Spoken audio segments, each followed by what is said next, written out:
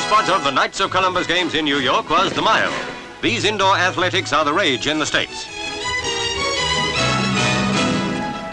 From the start, Peter Close of St. John's led from Barrie Almond of Houston University. Lying third was Ireland's marvel, Ron Delaney. Fourth, the Hungarian champ, Rossi Delaney has run the indoor mile 37 times without being beaten. But he looks to be in danger as Rossi streaks ahead with sprinter speed. Delaney knows he has to give all he's got. He does so, but at this stage it doesn't look enough. The flying Hungarian runs as if no one can possibly catch him.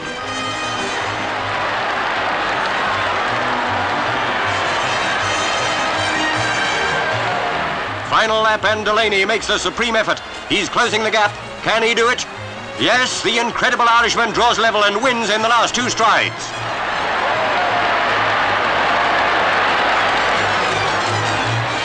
A new indoor record, 4 minutes 1 and 2 fifths. Bravo Delaney, another triumph for the Miling Irishman.